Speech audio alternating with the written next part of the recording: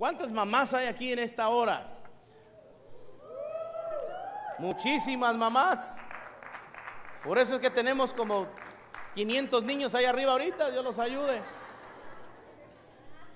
Pero las mamás hispanas en esta ocasión, ¿cómo se están dando vuelo, verdad que sí?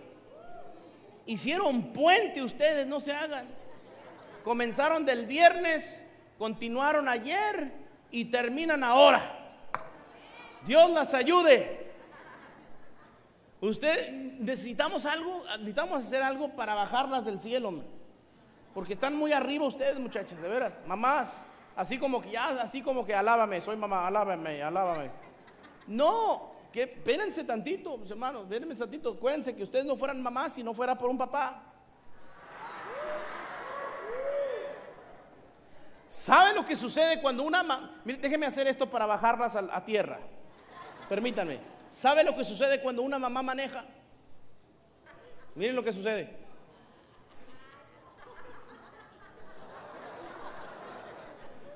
¿Qué es lo que sucede cuando una mamá maneja?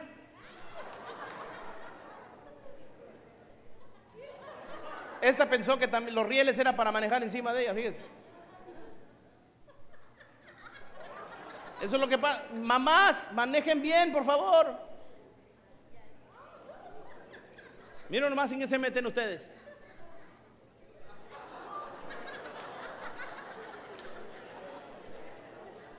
Algunos de ustedes, miren nomás lo que es. ¿Cómo le hacen para hacer eso? No sé. Esta hasta, tiene como orgullo, miren lo que hice. Esta no sabe dar cuenta que todavía estaba mojado el concreto. Mírenlo. Y esa, ahora sí que no sé, solamente una mamá puede hacer que ese carro haga eso. Queremos felicitarlas a todas las mamás. Les vamos a pedir que se pongan de pie en esta hora. Pónganse de pie, por favor. Todas las mamás, todas las mamás. Pónganse de pie, pónganse de pie. Pónganse de pie. Vamos a darles un aplauso a todas las mamás en esta mañana. Queremos felicitarles. Permanezcan de pie. Les tenemos un regalito de parte de la iglesia de parte de nuestras jóvenes que lo prepararon para ustedes y recíbalo con mucho cariño, con mucho amor. Las jovencitas se los van a estar, se los van a estar este, dando a ustedes, a cada una de ustedes. Y ya que lo haya recibido con mucho cariño, mucho amor de parte de sus pastores, de parte de la iglesia, y quiero agradecer también a las jovencitas que se quedaron bien noche a noche um, este, preparando esto para ustedes. Uh, gracias a ellas por hacerlo y a por ustedes. Dios me los bendiga mucho. Ya que reciban su obsequio, pueden tomar su lugar. Disfruten. Ustedes merecen el reconocimiento de ser mamás entre nosotros y damos gracias a Dios por sus vidas. Podemos decir nosotros lo que hoy en su boletín al frente está. No puede caber duda de que Dios en su grandiosa creación creó un ser que fuese su instrumento de dador de vida a otra persona. Y no solo dador de vida a otra persona, sino también un ser que cuidaría de la vida de otra persona hasta que esa persona sobreviviera por sí sola. En la grandiosa creación de Dios estás tú, mamá, mamá, bendita seas, feliz Día de las Madres, parte de esta congregación y de sus pastores. Dios me las bendiga mucho y sean ustedes bendecidas más y más en este día. Nomás quiero decirles que ya mañana ya no es Día de Madres. Mis hermanos, ayer, mire lo que pasó. Ayer yo le escribo un texto a mi esposa, porque ella se encargó de comprar algunos regalitos que ahorita vamos a dar también. Y le dije, ¿sabes qué? Cómprate un vestido hermoso, bonito, caro, en este día de madas. Y ella me escribe así, así como S y muchas Is, así como sí. Y, y, lo que me dijo fue que, ya ¿qué pasó? ¿Te lo compraste? Y, y, ella dijo, no, dice, había tanta gente, tanto relajo en las tiendas hoy sábado, dice que, que tanto lo fue, que dije, mejor después. Y ándale, si ha de haber estado pesado entonces el tráfico y la gente afuera y andando y saliendo y para arriba y para abajo. Por eso les decía, muchachas, que ustedes, mujeres, de veras que ustedes se la fueron en grande en esta ocasión, ¿verdad? Comenzaron el sábado, perdón, el viernes, Día de Madres, 10 de mayo, muy mexicanas. No, no saben nada de México, pero en ese día son muy, muy mamás. ¿verdad? Y, luego este, se llega el domingo y dice, es Día de Madres, espérate, ¿qué no te celebramos el viernes? Sí, pero hoy es Día de Madres aquí, ya también me la celebran, ¿verdad? Y entonces ya tenemos que celebrarles. Bueno, ah, y por eso decimos, ¿verdad? Que, que eh, este, este, se, fueron, se fueron en grande y, Dios me las bendiga mucho. Am, damos gracias a Dios por sus vidas. Queremos ver lo siguiente. ¿Hay alguna mamá aquí que tiene 80 años? Que tiene 80 años. Nadie. ¿Hay alguna mamá que tiene aquí 70 años? 70. ¿Qué edad tiene mi hermanita Anita? Usted tiene 76. ¿Hay alguien aquí que tiene más años que 76? Aquí que Anita. ¿Más de 76? Muy bien, mi hermanita Anita, usted es la mamá aquí más grande que tenemos. Venga y tome uno de estos regalitos para usted. Cualquiera de esos. Ah, Muchas gracias. Que Dios lo bendiga. gracias a Dios. Péselo, a ver cuál pesa más. Yo que usted haría eso, pero bueno. Ok. Quédeseme aquí, Anita, por favor. Ahorita le vamos a fotografiarlo. Ahora, ¿hay alguna mamá aquí que tiene 18 años? Ok. ¿Alguien que tenga, alguna mamá que tiene menos de 18? Nadie. ¿Alguna mamá que tiene aquí 19 años? Nadie. 20. 20 años. 21. Stephanie tiene 21. Isari tiene 21. ¿Usted es su nombre? Nelly. Neyri. Tiene 21. Allá, a usted también tiene 21. Varios de ustedes tienen 21. Ok. ¿Alguien tiene aquí 20 y medio? Estoy en serio. Usted tiene 21 también, Angelita. Ok. Vamos a hacer lo siguiente. Vamos a hacer lo siguiente. Todas las que tienen 21, vengan aquí rápido. Mamás de 21 años. Va rápido, rápido, rápido, rápido. No se nos pase mucho el tiempo. Vénganse, vénganse. Alguna de ustedes se va a llevar ese otro regalito, ¿ok? Pero vamos a ver, pero para acá. Volteense para acá. ¿Quién más tenía 21? Se va a perder su... Véngase, véngase, rápido. Ok, ahí les va muchachas. No se vale que ustedes le, le, le, le, le digan nada a ninguna de ellas, ¿ok? Véngase para acá. Ok. Nadie, nadie, nadie más dice nada, ¿ok? Ok, fíjense bien.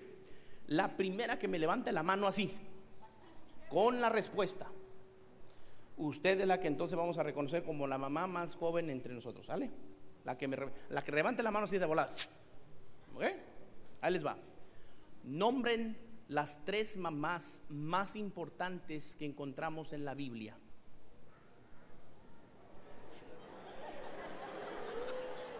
Ninguna se la llevó. Nadie levantó la mano. Aquí están consultando ustedes dos, no una de ustedes dos la va a llevar, ¿eh? ¿Nadie? No digan nada a los demás. A ver, usted levantó la mano, díganos. María, Sara. No sabe la otra.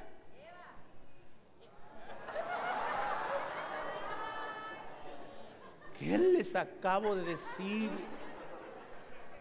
Ok, muchachas, muchas gracias. Dios me las bendiga mucho. Mija, lléveselo usted porque usted por lo menos dijo dos. Pero obviamente, la, hace un aplauso. Dios me las bendiga mucho. Gracias, muchachas. Muchas gracias. No se me vayan, quédenseme aquí. Quédenseme aquí. Ahora, ¿hay alguna mamá que, es- que está aquí y que también aquí en la iglesia tiene cinco hijos? Allá está, am, se me olvida su nombre. Reina, discúlpame, Reina. ¿Aquí están, Irene, sus hijos? Ah, no, no, que estén aquí. Aquí en la iglesia. No se vale en estacionamiento. Que están aquí. ¿Usted también, Sofía? ¿No ¿Están aquí sus hijos? ¿Todos los cinco? Lo- los cinco están aquí ahora. Pero tienen nueve, pero cinco de los nueve están aquí. Usted, mi hermano, ¿cuántos? Cinco, pero están aquí. Hoy. Ahí están. Wow. Toda esa hilera. No, el esposo no, los hijos. Se incluye el esposo. Yo también. Ok. Bueno, vamos a hacer lo siguiente. Vengan ustedes para acá, todas las mamás que tienen cinco hijos aquí. ¿Hay alguien que tiene seis aquí? ¿Tiene más de seis hijos aquí en la iglesia? No, qué bueno, si no le iban a voltear a mirar con lástima, yo creo. ¿Sí? ¿Tiene seis hijos aquí? Nadie, ok. Bien, ustedes, ustedes tres tienen cinco hijos aquí, ¿verdad? ¿Alguien más que tienen cinco hijos? Ok. Ok, voltean para acá. Necesita la persona levantar la mano, si no, si no quiere, no la queremos poner en las paz, ¿verdad? Gracias por, por dar su sugerencia, pero necesitamos que ellas mismas levanten la mano. Si no, si no levantan, pues está bien, respetamos. Solamente queremos, queremos bendecirles. Ok, esto es lo que vamos a hacer. Le vamos a hacer una pregunta bíblica. ¿Ok? Y si usted le responde, usted se lleva el último regalo que está ahí. Ah, una, una, respuesta bíblica muy sencilla. Muy sencilla. ¿Ok? ¿Listas? Y la primera que me levante la mano es la que lo contesta. Si lo contesta mal, pues no se lleva el regalo. ¿Ok? Digan ustedes, ¿cuál es la teología oficial del teólogo este, Juan Calvino del 1568?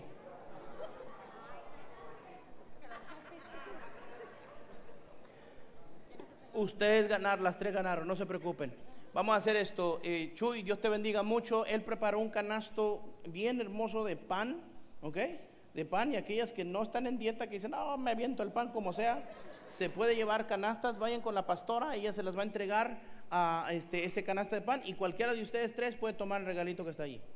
Usted, ándele pues, vaya y las otras dos, la pastora se las va, se las va a llevar. Vaya con la pastora, le va a traer un canal. Muchas gracias, Chuy, por esa bendición. Un aplauso a Chuy, un panadero.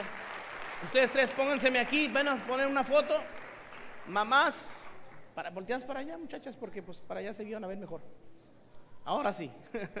Dios me las bendiga mucho.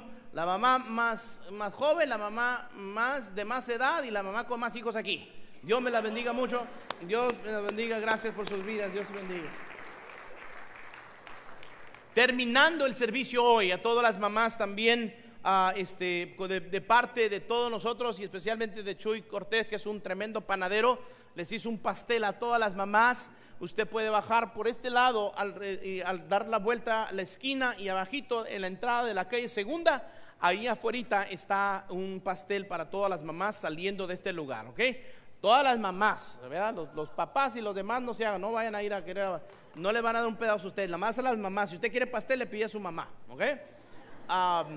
Eh, así que con mucho gusto, gracias damos a Chuy, dele a Chuy gracias por ello y ustedes disfruten esto que se les ha preparado para este, eh, para, para este día que se les reconoce a todas las mamás. Vamos a hablar sobre ello, vamos a hablar basado en Génesis capítulos 17, versículos 15 al 16.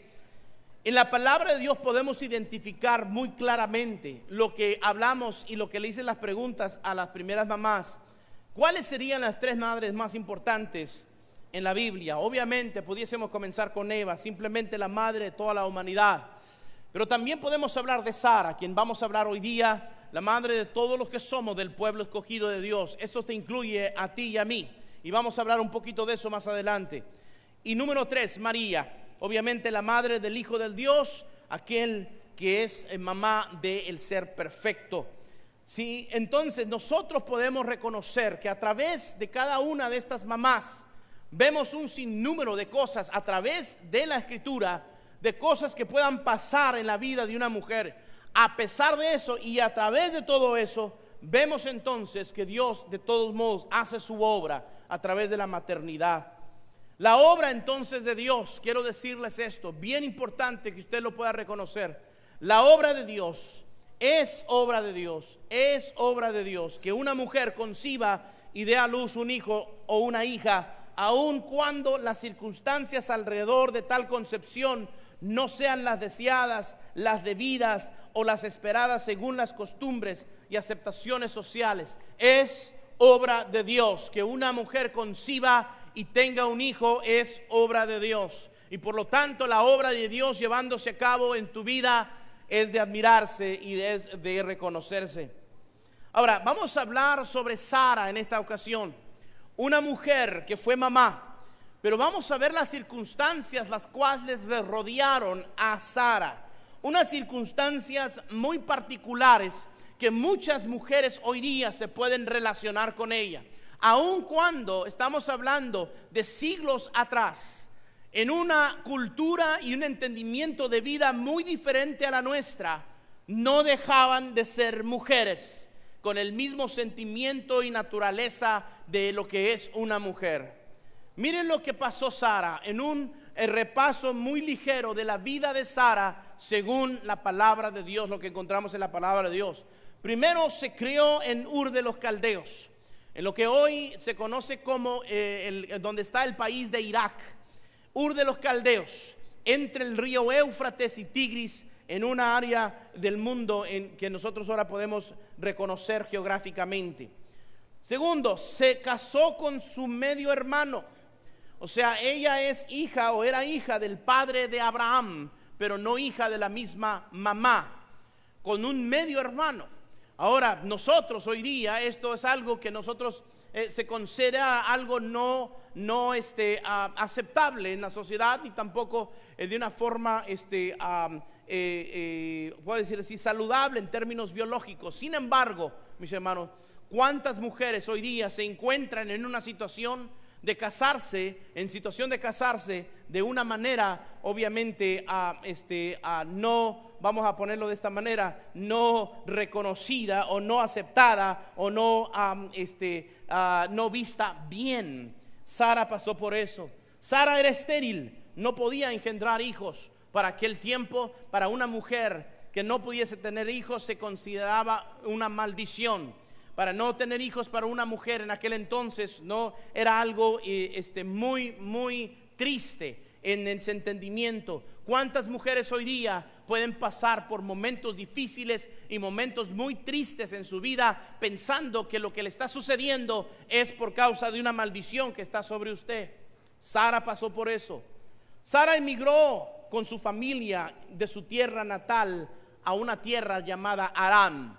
¿Cuántas mujeres hoy día también, especialmente entre los hispanos, se pueden relacionar con otra mujer que emigró de su tierra natal a una tierra no conocida? Sara pasó por eso.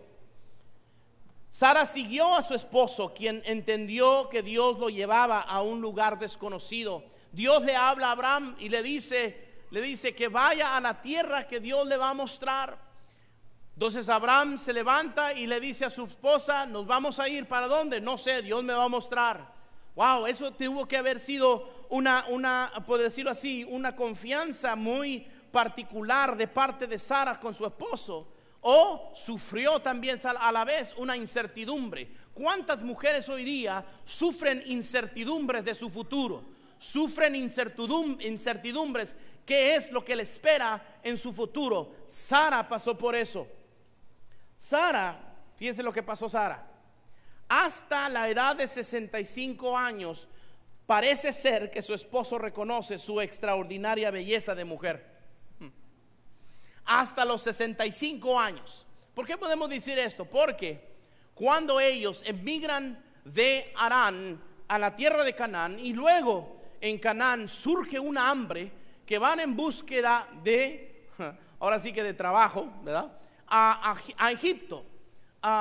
Eh, Abraham le dice a su esposa, ahora reconozco que eres una mujer de hermoso parecer. Fíjese nomás. Después de 40 años de casados, le dice, ahora reconozco que eres una mujer de buen parecer. Ah, una de dos, mis hermanos. O estaba ciego o estaba medio sonso Abraham, ¿verdad que sí?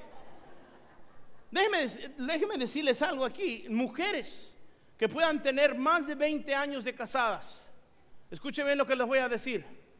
No es hasta entonces que el hombre, así de sonsos que somos, yo soy el primero que lo admito, nos damos cuenta de la totalidad de la belleza de la esposa que tiene. Quedaron muy callados, ¿verdad? No es hasta entonces. Yo no les puedo decir Más bien, déjame decirles, bien aquí, voy a, voy a ser transparente con ustedes en este momento. Yo no puedo decir que lo que hoy amo a mi esposa, yo la amaba cuando teníamos 20 años. Claro que yo eh, eh, eh, este, ah, me gustó, la quise suficiente para casarme con ella. Pero el amor que yo le tenía cuando nos recién nos casamos, definitivamente no le llega ni a los talones al amor que le tengo hoy. No sé si usted está entendiendo esto. Estamos hablando aquí entonces, mis hermanos, que con el tiempo, es con el tiempo en el cual hay una fidelidad de un esposo con una esposa que se ama a la esposa y se reconoce lo bella que es. Porque al principio para el hombre lo único que mira es lo belleza que está por fuera. Pero solamente con el tiempo se reconoce la belleza que está en su totalidad de una mujer. Por eso vemos aquí, mis hermanos, que no fue hasta los 65 años que Abraham dijo, ahora conozco que eres una mujer bella. Wow. ¿Cuántas mujeres pasan por eso? Que solamente cuando estaban de novias el esposo le dice lo bello y lo hermosa que estaba. Nomás se casaron y nunca lo volvió a escuchar. Después. ¿Cuántas mujeres pasan por esa? Sara lo pasó. Imagínense, no fue hasta los 65 años que tenían, que, después de ser novios con, con, Abraham le volvió a decir, eres mujer hermosa. Fíjese nomás. Sara pasó por eso. Sara expuso su honor como mujer para proteger la vida de su esposo. ¿Cuántas mujeres hacen tonterías y medias para tratar de salvar al esposo de que no vaya a ir a la cárcel? Sara pasó por eso. Dijo Abraham, los egipcios van a creer me van a querer matar porque tú eres una mujer hermosa, porque yo soy tu esposo. Diles que eres mi hermana. Y Sara dijo, es mi hermano. Y por eso poco faltó para que entonces los egipcios llegaran hasta Faraón, llegara a ser su mujer Faraón, siendo esposa de Abraham. Lo hizo dos veces. Sin embargo, Dios la protegió dos veces de manos de los extraños. Faraón tuvo sueños y le dije, hey, esta no es tu mujer, esta es tu esposa, ¿por qué me haces esto? Con el rey Abimelech hizo lo mismo. Dile que eres mi hermana para que no me vayan a matar. Sara expuso, se expuso, se expuso su honor como esposa por salvarle la vida a su esposo. Qué tremendo. ¿No lo creen ustedes, mujeres? ¿Cuántas mujeres se pueden relacionar con unas acciones como estas? Sara pasó por eso. Ahora, también Sara instó a su esposo a cometer un grave error. Y muchas mujeres pueden reconocer y decir, yo he cometido muchos errores y errores que tienen consecuencias muy grandes. Pues el error de Sara fue no haberle creído a Dios que Dios les iba a dar un hijo. Y Sara le dijo a su esposo, yo no te puedo dar hijos, toma a mi sierva, a Agar, y ella que me dé un hijo de parte tuyo. Abraham muy obediente, tiene un hijo con Agar, Yo creo que Agar ha de haber estado bien fea. Porque yo creo que los sentimientos de una mujer no cambian, aunque por los siglos. ¿No creen usted? ¿Cuántas, cuántas esposas aquí le gustaría a usted compartir su esposo con otra mujer para que le dé hijos? Claro que no. Claro que no. Sin embargo, Sara lo hizo, fíjese. Obviamente, Sara no tiene ningún problema de que, de que, de que Abraham no se iba a enamorar de, Agar. En primer lugar, ella era mis universo. Sara. Así es que si, si era más bonita que Sara, no creo. Y para que le haya dicho, quiero que me des hijos con ella, pues de haber estado bien fellita. No, no, me están entendiendo, ¿verdad?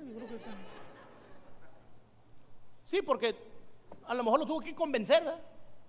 Abraham, ándale, con ella. Y Abraham dijo así como que, Ay, ¿tengo qué?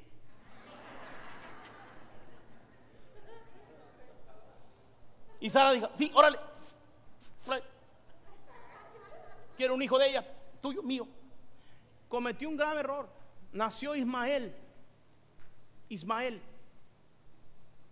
Y cuando, y cuando Dios le dio, fíjese bien, el grave error que fue este cuando Dios le dio a Sara un hijo por milagro. Tuvo el hijo Isaac. Ya Ismael tenía alrededor de 14, 15 o 16 años. Y la Biblia dice que encontraron a Ismael jugando con Isaac. Isaac ten- tendría, era, era pequeño. La palabra jugando, traducida al español de parte eh, eh, de- del hebreo, en la palabra original hebrea, no necesariamente quiere decir que estaban jugando las canicas. Es probable que también quería decir que estaba abusando de él. Que eso causa que Sara le diga a Abraham, desecha a la sierva con su hijo de nosotros. Y los despachó. Y por poco mueren en el desierto Agar y su hijo. Escuche bien, ¿cómo ha de haber sentido un resentimiento de esa mujer y su hijo en contra de Abraham, de Sara y de Isaac por haber hecho eso con ellos? Que hasta la fecha tienen un resentimiento que ha costado vidas y sangre y hasta la fecha se siguen peleando en el Medio Oriente. Fíjese hasta dónde llegó este error. En otras palabras, como mujeres hay errores que se cometen y errores grandiosos. Sara lo pasó. Se rió con incredulidad de la promesa de Dios. Se rió. ¿Cuántas de ustedes se han reído de la promesa de Dios? Mujeres. Los ángeles vinieron con Abraham y dije, tu mujer va a tener un hijo de, de aquí en un año, tu mujer va a tener un hijo. Y Sara se rió de incredulidad.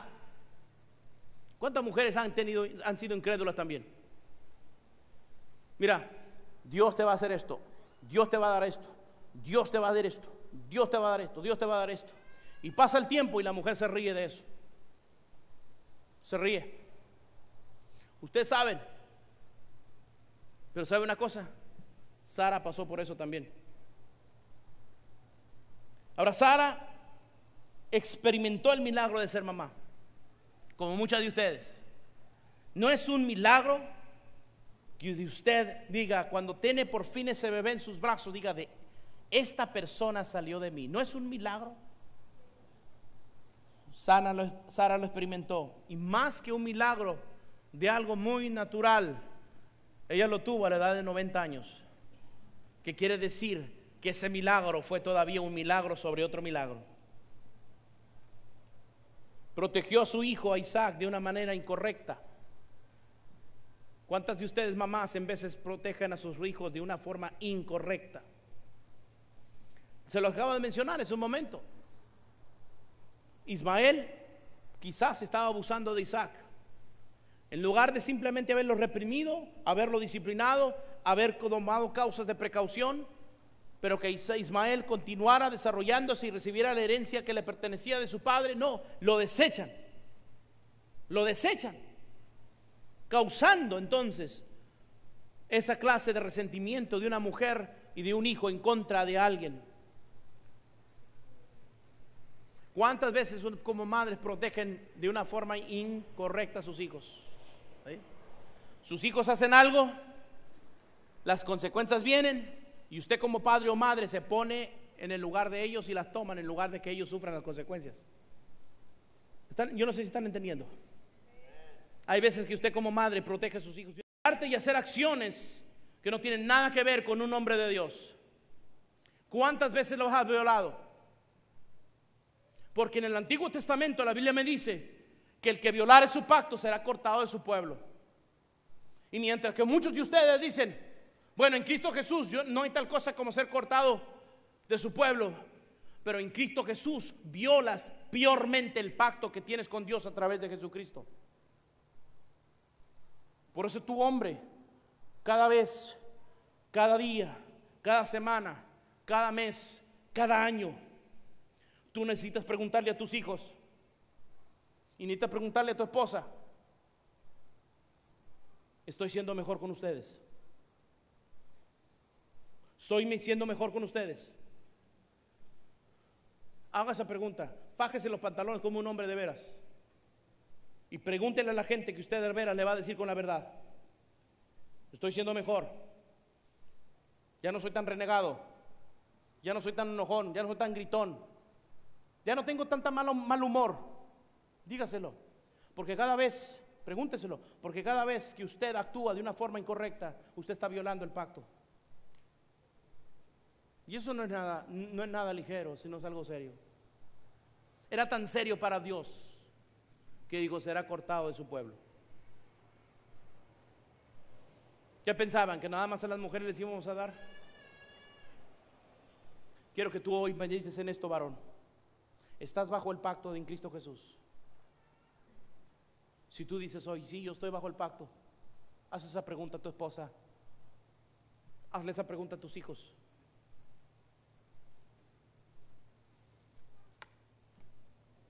Yo por mucho tiempo pensé que yo no había sido un buen padre con mi hijo cuando él iba creciendo. Dediqué mucho tiempo trabajo, a la escuela y al ministerio. Y yo pensaba que yo no le había dado el tiempo que debería, que no lo disfruté todo lo que debía de haber disfrutado cuando era niño. Y siempre que oraba por mis hijos me venía solamente y me dolía mi corazón. Y las lágrimas me, decían, ¿por qué yo no aprendí a ser mejor padre cuando mi hijo estaba pequeño? Pero hace poco, mi hijo me dijo, papá, nunca vuelvas a pensar así.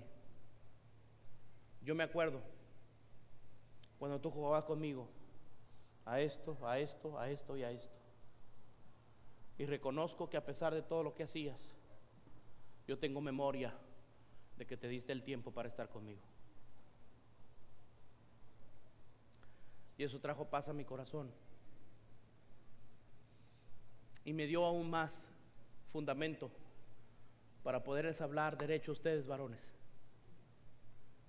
Hombres, que usted pueda tener los pantalones suficientes enfrentar a su esposa y a sus hijos, decirle, he sido mejor, he sido un mejor padre, he sido un buen esposo. Y si te dicen que no, manos a la obra, mi brother, porque todo lo podemos en Cristo que nos fortalece. La señal del pacto ahora en Cristo entonces es cambios en la conducta de la vida y se manifiestan más importantemente con tus seres queridos y después con la gente que te rodea. Pero vamos a volver a las mujeres. Vamos a volver a las mujeres. Terminando, me puedes preguntar lo que tenía, hija, por favor. No se me vaya, quiero hablar contigo. Pero vamos a volver a las mujeres. La señal alcanza también a Saraí. Ya que Dios le dice a Abraham en Génesis 17, 15 al 16, esa es nuestra base bíblica hoy. Dijo también Dios a Abraham: A Saraí tu mujer no la llamará Saraí más Sara será su nombre. Y le bendeciré y también te daré de ella un hijo.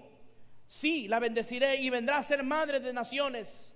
Reyes de pueblos vendrán de ella. Mientras que Abraham le cambió el nombre de Abraham a Abraham, padre enaltecido, padre de ah, multitudes. A Sara le cambia el nombre de Saraí a Sara. Los dos nombres quieren decir lo mismo. Los dos nombres quieren decir princesa o mujer de alto rango. Los dos nombres. De tal manera entonces que aun cuando la pronunciación se cambió, Dios la cambió, reafirmó lo que Sara iba a ser y sería y era para Dios. El pacto con, de Dios con Abraham incluye entonces la promesa de un hijo legítimo a través de Saraí, su esposa, la cual Dios también le cambia ese nombre de Saraí a Sara. Esto muy bien, mi hermano, nos da a conocer lo siguiente, de que cada mujer en Cristo, seas mamá todavía o no, seas ya mamá o todavía no lo seas, dentro del pacto en Cristo, tú eres una princesa, tú eres una mujer de alto rango, tú eres una mujer de alta categoría y así necesitas comportarte. Así necesitas vivir tu vida. Una mujer de alto rango. ¿Por qué? Porque Dios te ha dado una oportunidad extraordinaria. ¿Cuál? De ser mamá. Y no solamente porque pariste a tus hijos, porque los puedes crear y los puedes enseñar, porque los puedes convertir en hombres y mujeres de bien. Mire, si llegas a ser mamá, si todavía no lo eres, y aquí es que ya son mamá, muchas de ustedes, mi hermano, se deben de comportar como esas princesas, como esas mujeres de alto rango, porque sus hijos entonces serán encaminados a ser reyes de pueblos. Yo no sé si ustedes están entendiendo esto. En la antigüedad no está hablando de ser presidente relativamente de una nación como lo es hoy día. En aquel entonces la sociedad se desenvolvía en el, sistema de patriarcado y muchas mujeres tenían el orgullo de decir, mi hijo es el patriarca fulano que vive de aquel lado del collado, que tiene 15 hijos, que tiene tanto ganado, que tiene tantos sirvientes y tantos trabajadores. En aquel entonces el patriarcado era lo más deseado de cada hombre. Y cuando una mujer tenía un hijo, el cual iba a ser un patriarca, era lo más tremendo que podía ella recibir. En los caminos del Señor, bajo el pacto en Cristo Jesús, mamá Usted debe de reconocer que si Dios le dio un hijo, una hija, es para que usted se encargue de enseñarle, disciplinarle, para que al crecer esa persona sea una persona importante, haciendo diferencia en esta sociedad, haciendo diferencia en la vida de otras personas, siendo personas de respeto, de admiración y de bendición y trayendo gloria a Dios. Usted, mamá, tiene, tiene esa responsabilidad y privilegio. Y privilegio. Déjeme hablar de mi experiencia una vez más.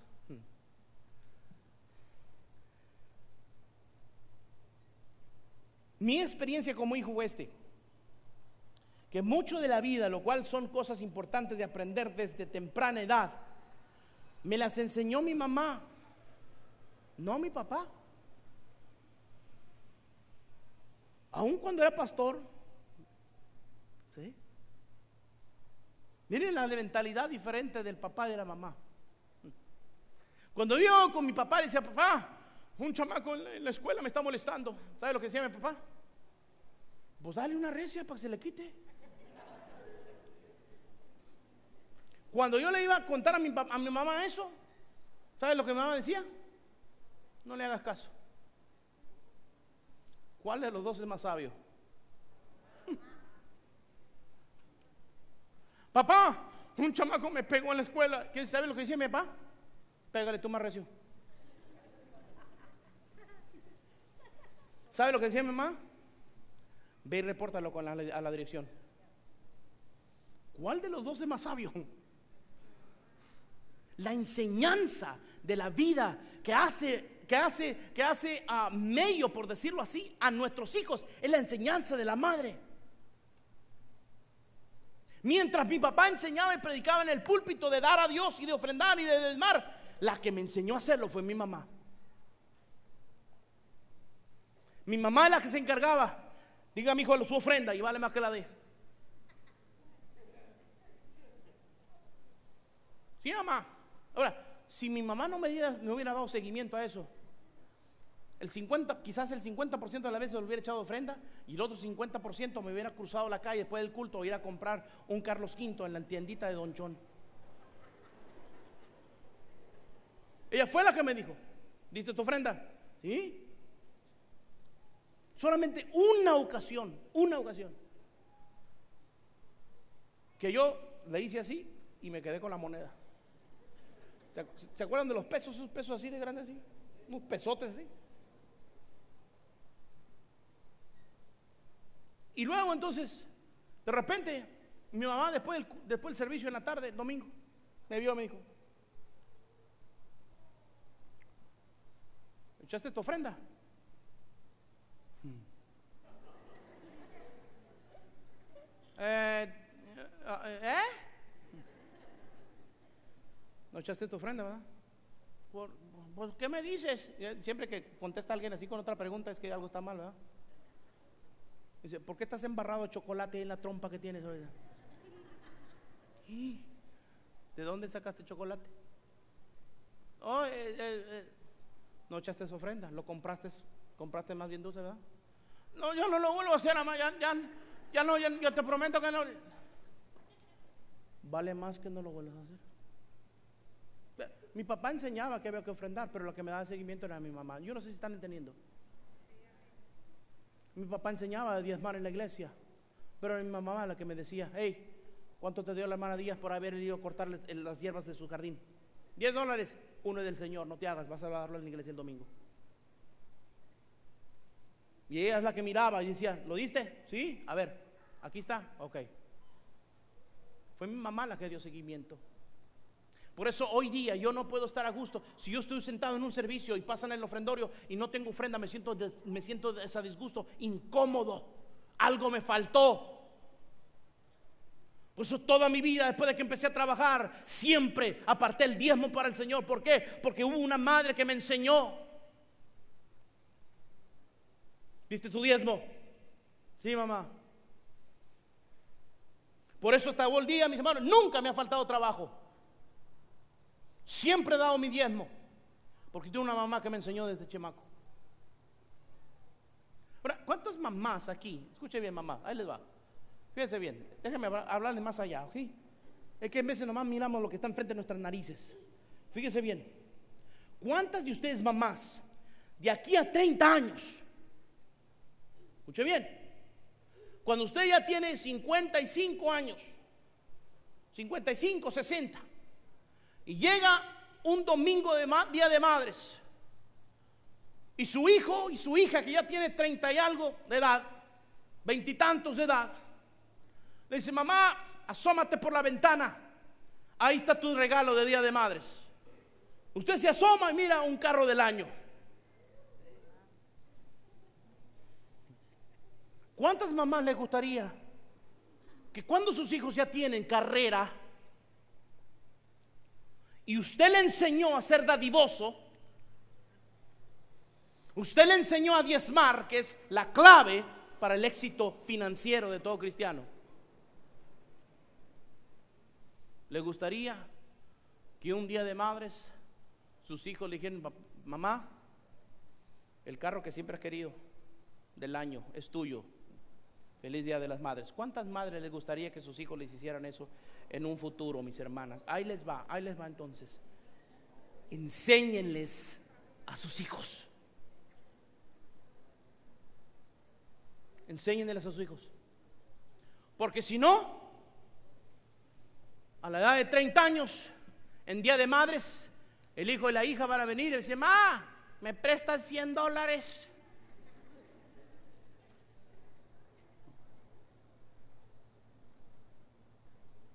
Por eso dice Proverbios 6:20, mire la sabiduría. Guarda, hijo mío, el mandamiento de tu padre. La segunda línea de la poema dice, y no dejes la enseñanza de quién? En los caminos del Señor, mujer y madre, tú eres una princesa o una mujer de alto rango para que enseñes a tus hijos y tus hijas a ser también del linaje real. Si no eres una mujer de alto rango, no podrás enseñarle a tus hijos ser eso. Pero si lo eres, los hijos lo mirarán y se me fijarán y dirán, mi madre fue esto, yo no tengo por qué ser algo menos. No hay amenes, pero eso es así. Porque en los caminos del Señor nosotros tenemos un pacto en Cristo Jesús. Podemos nosotros entender como esta hora que las mujeres cristianas deben de saber aprender a amar a sus hijos. Jóvenes, mujeres jóvenes, tienen que aprender a amar a sus hijos. Hay muchas mujeres jóvenes que no saben amarles. No saben. ¿Por qué dice Tito de esta manera? Mire, Tito capítulo 2, versículo 3 al 4, Pablo escribiéndole a su discípulo Tito, a que enseña la iglesia, dice esto, las ancianas asimismo, sean reverentes en su porte, no calumniadoras, no esclavas del vino, maestras del bien. Versículo 4 15, que enseñen a las mujeres jóvenes a amar a sus maridos y a sus hijos.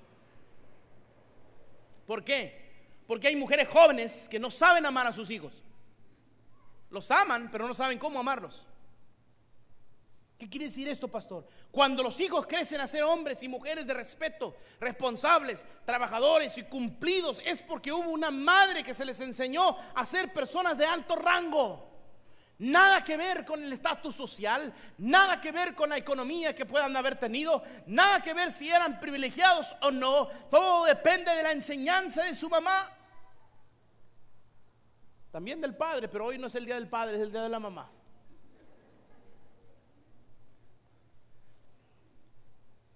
como seguidora de Cristo en un pacto bajo el poder de Dios en Cristo Jesús, como parte del pueblo de Dios, le podemos decir a las mujeres, princesas, mujeres de alto rango, vivan como tales. Vivan como tales. ¿Cuáles serían las características de una mujer de alto rango? Primero, una mujer de fe sólida en el Señor.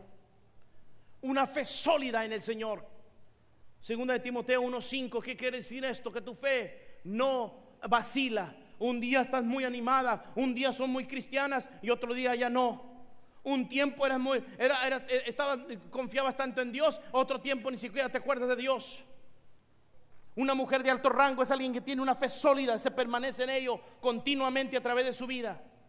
Una mujer de alto rango, de alto rango es fiel y amorosa con su esposo y con sus hijos. Fieles a sus hijos y son madres solteras. Tito 2.4. No tenemos tiempo de para ver cada uno de estos pasajes bíblicos en los cuales está basado esta característica que le estamos compartiendo. Fiel y amoroso su esposo y con sus hijos. ¿Qué quiere decir esto? Que si hay alguien que puede otorgar cariño necesitado de su esposo y también de sus hijos, soy usted, mamá. Es usted. Y usted como mujer de alto rango, bajo el pacto divino, en Cristo Jesús puede vivir de esta manera. Fiel y amorosa con su esposo y sus hijos. Sirve al Señor constantemente, Romanos 12, 11. ¿Qué quiere decir esto?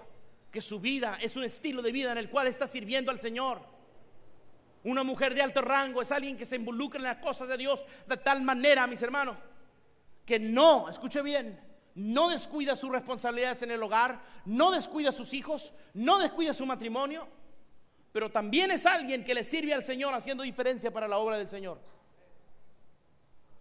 Así que una mujer de alto rango no tiene tiempo para ninguna tonterías, sino está bien involucrada, encargándose de su familia, de sus hijos y de servir al Señor. Una mujer de alto rango, mis hermanos, es de espíritu suave y tranquilo en sus acciones y sus conversaciones. Primero de Pedro 3, 4. Primera de Pedro, capítulo 3, versículo 4. De espíritu suave y tranquilo en sus oraciones, en sus acciones y en su, en su forma de hablar. Mujer de alto rango, no tiene que estar gritando en la casa para que le hagan caso. No tiene que estar tampoco reprochándole al esposo lo que no ha hecho. No está calumniando a la gente para para que, para que se haga lo que ella dice. Mujer de alto rango es alguien que habla con serenidad con las personas, con sus hijos, con su esposo. Y no se agarra gritando en la casa. Y no se agarra, agarra, agarra este, gritándoles y ofendiendo a los demás. No están tan calladitas, mis hermanas. Un espíritu de un espíritu suave y tranquilo habla Primera de Pedro 3.4. Me dijo, venga para acá. ¿Qué más? Venga. ¿Se acuerda que le dije que esto y esto y esto otro? Sí, pero ya sabes que... Esta es la consecuencia. Ay, ¿por qué? ¿Quieres que te lo vuelva a repetir o ya sabes? Ah, ya sé, no me digas nada mujer de alto rango. Mujer de, de no alto rango. Ya te dije que hiciera lo que vas a hacer, nunca me haces caso, te dije nada, quieres que te grite, quieres que te miente con el sartén para que me hagas caso, y nada, nada, tú también. Eres igual que tu padre, igual de floja, mira nomás, deja el cochinero, no te, por eso tengo madre, ¡Ah!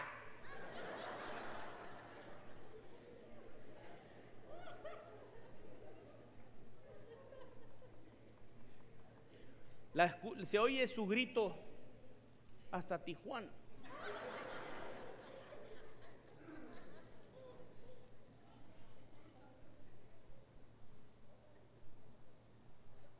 Yo me sorprendo en veces, mi hermano, el volumen que sale de la boca de una mujer. Bueno, nosotros, nosotros vivimos como por 15 años, aquí por la calle 42 y Dwight. Había una mujer que vendía lotes.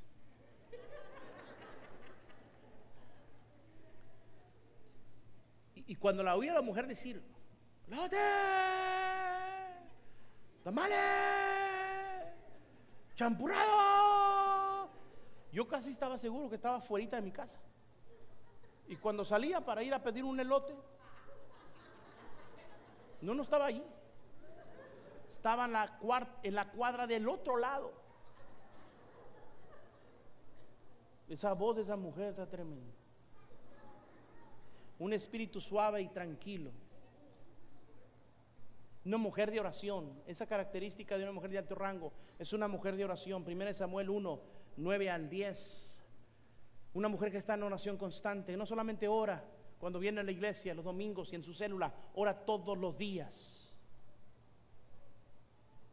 Es una mujer valiente ante todas circunstancias. Jueces 4, 10 valiente, una mujer que se levanta y sabe, sabe eh, enfrentar toda clase de situación y con valentía la enfrenta y la atraviesa.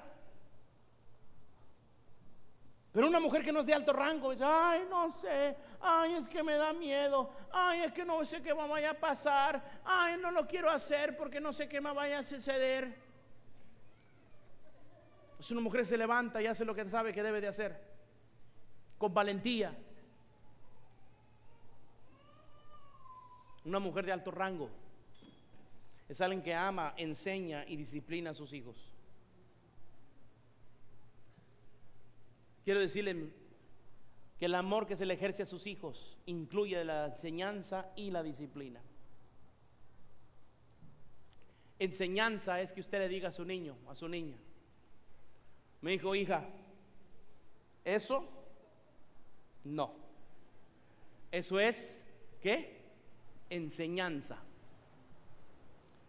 Disciplina es, yo te enseñé que no lo hicieras y lo hiciste de todo modo. Esta es la consecuencia de esto. Eso es disciplina. Déjeme ponerlo un poquito más gráfico. ¿Eh? El niño que necesita aprender por toda seguridad de su bienestar, ya que empieza a ser curioso, mira una toma de corriente, alarga sus dos deditos y va. ¿Eh? Usted le enseña que no debe de meter sus deditos ahí. No, amigo, venga, no. Usted mete sus deditos ahí y se le paran los pelitos. Así, mira. Como tu papá. Pero no pero, pero sin pero sin moco de gorila. Así nada más por la corriente, por el choque que te va a dar. Le enseñó. La disciplina es esta. Después de que usted le enseñó, porque los niños son listos. Muchas veces los padres creen que están mencitos. No, hermano. Los que están mencitos son los padres, no los niños. ¿Están listos? Le da otra vez. El mamá entonces dice, a ver, mi hijo, venga para acá. Le dije ya que eso no. Y usted lo iba a hacer. Venga para acá. Vara. ¡Sua!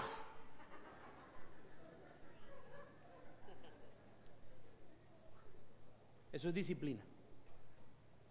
Disciplina no es, si lo vuelves a hacer, te voy a dar con mi plumero.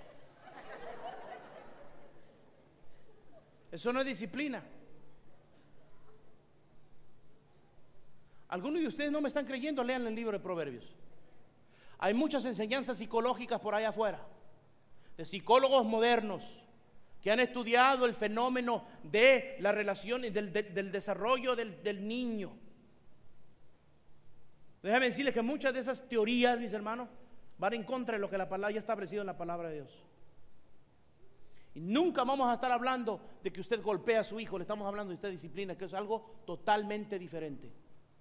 Y hay algunos padres que tienen que cometen el grave error de que porque sus padres sí los golpearon a ustedes, ustedes creen que el disciplinar a sus hijos es hacer lo mismo y no lo es.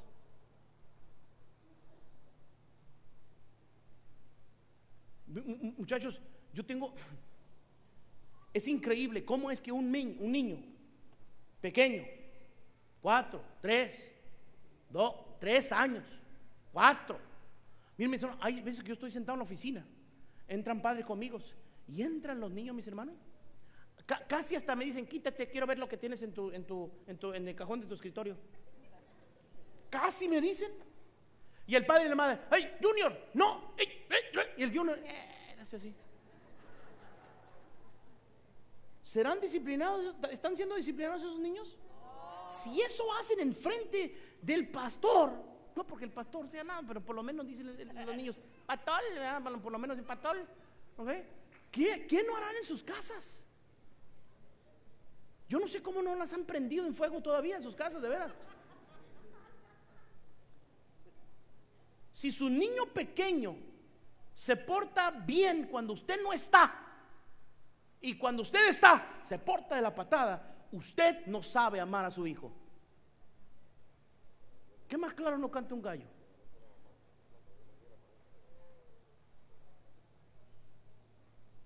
Y lo, que, y lo, lo tremendo de todo es que la palabra de Dios dice, el que no disciplina a su hijo aborrece y lo está enviando a la sepultura. Yo no sé si están entendiendo esto. Es increíble, mis hermanos, cómo podemos ser cristianos, creyentes, hombres y mujeres bajo el pacto de Dios y no ser personas de alto rango. Enséñale a su hijo, enséñale a su niña. Tires la basura donde va, mi hijo, ahí no. Vaya al, baño y ponga la basura, en su lugar y limpie bien el excusado donde orinó. ¿Cuántas cosas no les enseñan? No, enséñenle a su hijo. Aman, si aman a sus hijos, les enseñan. Y si les enseñan, también va la disciplina cuando no lo están haciendo. Hay personas que me han dicho, pastor, yo, yo, le doy a mi hijo y de todo modo no hace caso. una de dos o la palabra de Dios miente o tú no lo estarás haciendo como la palabra de Dios lo dice. ¿Cuál de las cosas será? El amar a sus hijos, mamás, conlleva la enseñanza y disciplina. ¿Cómo? Disciplina. Cuando los hijos no son disciplinados cuando están pequeños, ya cuando están grandes es demasiado tarde. Y si no la respetan cuando ya están grandes es porque usted no le enseñó a respetarle cuando estaba pequeño. Y los hijos que crecen no respetando a sus padres son los hijos que crecen después no respetando las leyes, no respetando a sus maestros, no respetando al policía y no respetando las cosas sanas del ser humano. Y se meten en cada clase de problema. ¿Por qué? Porque no se disciplinó desde pequeño. Mamás, ustedes tienen la oportunidad de hacer de sus hijos hijos que van a crecer a ser reyes de pueblos. Personas que hacen diferencia en la sociedad. Gente que va a ser doctor, gente que va a ser maestro, gente que va a ser licenciado, gente que va a hacer aquellas cosas que hacen diferencia. Ustedes y nosotros bajo el nuevo pacto en Cristo Jesús todo lo podemos en Cristo que nos fortalece usted y yo como siervos y siervas de Dios. Y en este caso, mamás, ustedes necesitan enseñarle a sus hijos a ser conforme a lo que usted es. ¿Qué es usted? Una mujer de alto rango, una mujer princesa. Porque estamos bajo el pacto de Dios en Cristo Jesús, podemos ser hombres de bien en el pacto y mujeres que son princesas en toda la palabra, princesas en toda la palabra.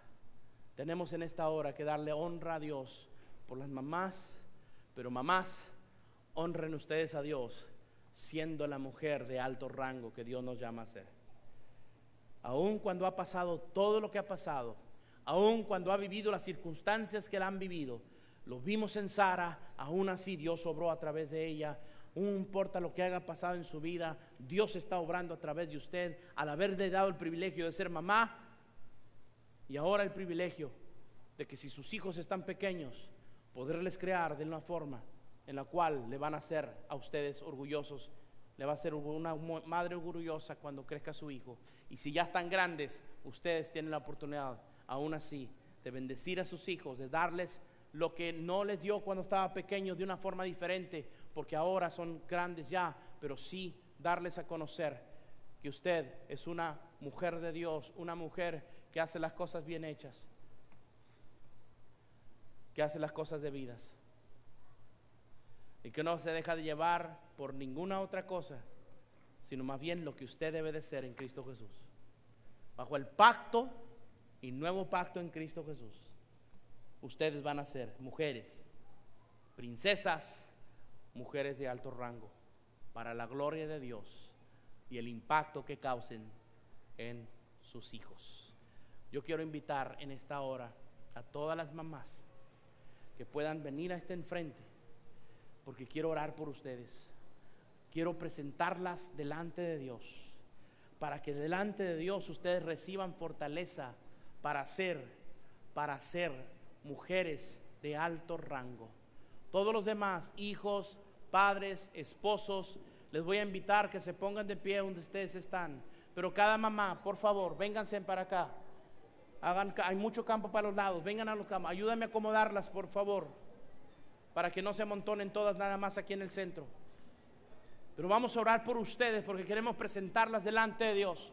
En un día como este, qué mejor ser presentadas delante de Dios como una creación hermosa de Dios que hizo de usted instrumento para traer a este mundo hombres y mujeres que deben y pueden ser hombres y mujeres que traigan gloria al nombre de Jesús. Le vamos a pedir que ustedes en esta hora díganle al Señor en toda, en toda su ah, confianza que Dios haga en usted esa mujer que hoy ha aprendido que debe de ser conforme lo que hemos hoy visto en la palabra del Señor en el nombre de Jesús. Vamos a orar en esta hora. Yo le voy a pedir a todos los hijos y padres y esposos que están allí que me ayuden a orar por ellas. Y ahorita en unos momentos más les vamos a pedir que hagan algo muy especial en esta hora. Pero vamos a orar en este momento. Voy a presentarlas delante de Dios. Hoy estoy esperando que se puedan acomodar lo mejor posible. Todavía hay más lugar para este lado. Háganse más para acá, muchachos, por favor. Háganse hasta acá, hasta acá, hasta acá. Gracias, gracias. Gracias, vénganse, vénganse y hagan más campo para las que están allá en el centro. Gracias, muchachas. Háganse más para acá. Vamos a orar por todas ustedes en el nombre de Jesús. Queremos que todas estén bien acomodadas aquí en el altar. Gracias, muchas gracias. Santo Dios, delante de ti, Señor bendito. Yo quiero que tú, varón, hijo que estás allá, reconoce a la mamá que Dios te ha dado. Reconoce a la mamá que Dios ha puesto delante de ti. Yo te voy a invitar que tú la bendigas, no solamente en un día de madre como hoy, sino que lo puedas hacer cada día, cada día mejor. Estamos bajo un pacto nuevo en Cristo Jesús y como tales debemos de ser y debemos de tener la señal de ese nuevo pacto como mejores hombres y mujeres, hombres, como mejores hombres en el nombre de Jesús. Vamos en esta hora a orar. Señor, yo quiero darte gloria a ti por cada mujer, mamá que está en este altar. En el nombre de Jesús, te las presento, mi Dios para que tú, Señor, hoy derrames una bendición sobre cada una de ellas. En su función como mamá, Señor, te pido que llegue sobre ellas entendimiento, sabiduría, fortaleza, para que puedan ser, Señor, las siervas tuyas, mujeres de alto rango, que puedan ser unas zaras en tu nombre, Señor, y puedan, Señor, llevar a cabo la obra que tú les has encomendado al regalarles ser madres, al poder, Señor, oh Dios, amar a sus hijos, para que les puedan enseñar y disciplinar, para que puedan ser las esposas que necesitan ser con sus esposos y puedan ser, Padre Celestial, mujeres que puedan traer gloria a tu nombre, porque tú eres, Señor, el que traes fortaleza y bendición para hacerlo. Entendidas, mi Dios, que aun cuando en tu palabra nos damos cuenta de las deficiencias y de aquellas cosas que vimos en la vida de Sara, aún así tú obraste a través de su vida. Y de esta misma forma obras a través de la vida de cada mamá que está aquí en este lugar. En el nombre de Jesús derrama una bendición. Levante sus manos al cielo. De reciba de Dios en esta hora. Reciba, reciba, reciba, reciba. Reciba una fortaleza en el ámbito espiritual. Al levantar las manos, es usted se rinde ante Dios. Y delante de Dios, cuando se rinde, usted recibe fortaleza. Usted recibe bendición. Usted recibe aquello que usted necesita de Dios para ser una mejor mujer, una mejor mamá, una mejor oh, mujer que trae gloria al nombre de Jesús. Declaro bendición sobre su vida Declaro que usted será una madre que traerá bendición a sus hijos. Declaro que usted será una mamá que traerá fortaleza y ánimo a sus hijas que van creciendo para ser señoritas y ser mujeres. Y usted será una mamá que dará consejo sabio y, afirmativo a sus hijos que están creciendo para ser unos hombrecitos, unos hombres de Dios. Declaro que sus vidas serán llenas de fortaleza y sabiduría para que puedan, puedan enseñar, disciplinar a sus hijos. Declaro que sus hijos serán bendecidos por ustedes, porque ustedes serán madres que serán delante de Dios de alto rango, mujeres de princesas, mujeres que llevarán a cabo la obra de Dios en lo que Dios les ha declarado en el nombre de Dios. En el nombre de Jesús de Nazaret lo declaro sobre sus vidas. Recíbalo, recíbalo, recíbalo, créalo, vívalo en el nombre glorioso de Jesús. En el nombre glorioso de Jesús lo declaro, Padre Celestial sobre cada mamá, sobre cada mujer, sobre cada Señor, estas siervas tuyas, en el poder de tu glorioso y bendito nombre. En el nombre de Jesús. Gracias, Señor. Gracias, Señor. Gracias, Señor. Si aquí está tu esposa, si aquí está tu mamá, si aquí está una mujer que ha bendecido tu vida, yo le invito a que usted venga, búsquela aquí donde está abrácela, bendígala, ore por ella y así vamos a quedar despedidos en esta tarde en el nombre del Señor. Venga y busque a su esposa, venga y busque a su mujer, a, su, a, la mamá de sus hijos, venga y busque a tu mamá, ven y busca a tu mamá, muchacho, joven, muchachita, ven y bendígala, abrácela, dígale, aquí estoy, quiero que tú seas una mujer de alto rango como hoy hemos aprendido. Declaro sobre tu vida ser una mujer de alto rango para Dios. Venga con ella, bendígala abrácela, declare sobre ella eso en el nombre de Jesús. Bendígala en el nombre de Jesús. Ore por ella ahí donde usted está. Bendígala en el nombre de Jesús. Y si alguna de ustedes, jovencitas, que no está aquí su mamá o ya lo hizo con su mamá en el primer servicio, venga con una mamá que está aquí, que a lo mejor sus hijos todavía están muy pequeños y no vienen a abrazarles y a bendecirles. Venga usted también y abrácelo y felicítelo. Dígale, yo te quiero apoyar para que seas una mujer de alto rango, una princesa de Dios en el nombre de Jesús. Dígale, yo quiero declarar sobre tu vida. Bendigo tu vida en el nombre de Jesús. La bendigo para que seas una mujer de, de gracia y una mujer que trae a sus hijos haciendo de ellos, haciendo de ellos una mujer y, hombres y mujeres de Dios en el nombre de Jesús. Declaramos sobre sus vidas esa bendición, declaramos sobre sus vidas en el poder de tu glorioso nombre. Bendígalas, bendígalas grandemente y declaren sobre ellas bendición en el nombre de Jesús. En el nombre de Jesús declaramos bendición. Bendígalos en el nombre de Jesús. Gracias Señor. Dios me los bendiga a todos. Si no está aquí su mamá, si no tiene aquí su esposa, llámele hoy. Em, escríbale un texto, envíele un email, dígale a mamá, mujer, Dios te bendiga en este día de madres. Lo declaro sobre tu vida en el nombre de Jesús. Dios me los bendiga mucho.